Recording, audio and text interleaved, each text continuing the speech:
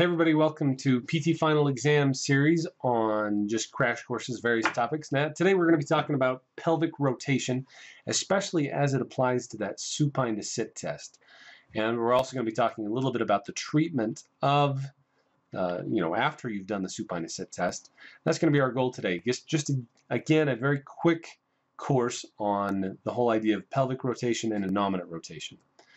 So just briefly talking about the pelvis, typically we refer to the whole pelvis, uh, you know, both innominates are the pelvis. And then when we're talking about the specific innominates, we're talking about, you know, the right and the left innominate. So one of these, innominate is one of these.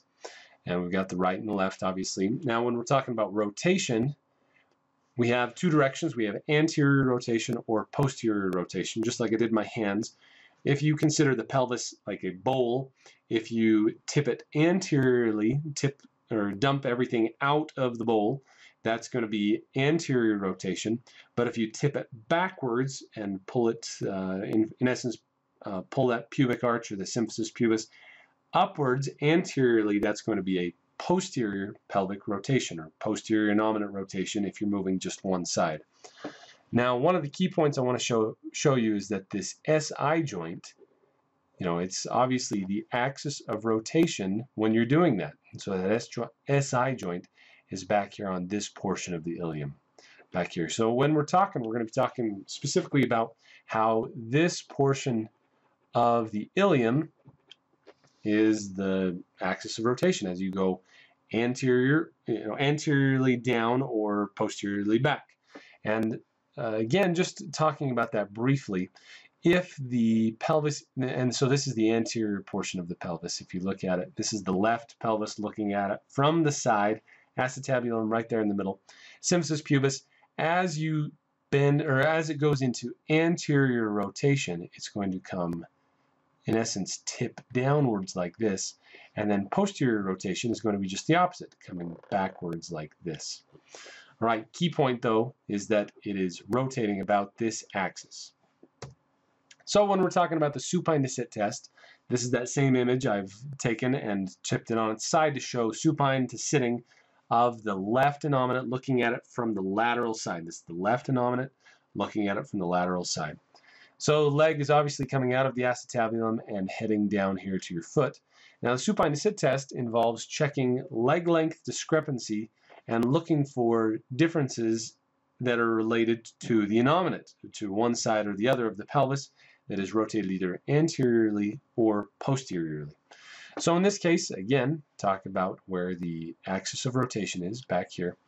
If the pelvis is rotated anteriorly, so let's talk about anterior rotation.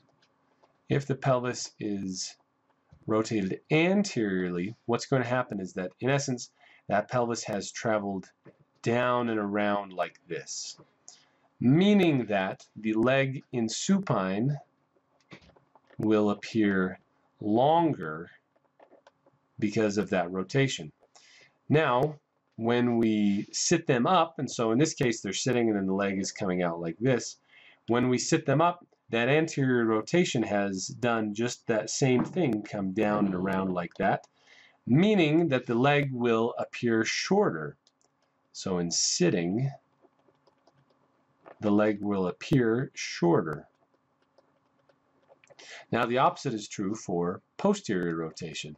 Same idea that if you have the pelvis rotated posteriorly, so this is anterior rotation, if you are rotated posteriorly, it's going to come up and around like that. Well, sorry, I should say that it's coming around up and down like that is, is more accurate than this one. If it's rotating up and back like that, you're going to have exactly opposite. The supine will appear to have a shorter leg because it's pulled it up and back. And then when you're sitting, it will appear, again, we're talking functional leg length. The leg has not changed length, it's just the pelvis that is translating it like that. We have rotated up, and I guess I should, I'm, and what I'm trying to show is that it's rotating exactly opposite, meaning that it will appear longer in long sitting.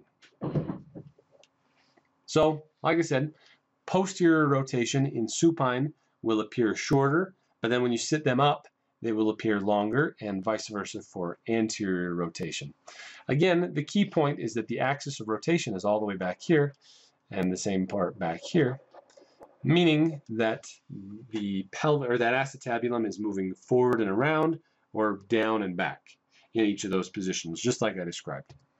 So what do you do to treat this? So let's say that they have a posterior rotated innominate. This is the axis of rotation. The innominate is rotated up and back posteriorly. In order to fix that, you need to rotate it anteriorly with um, with a force that's going to pull it back into anterior rotation.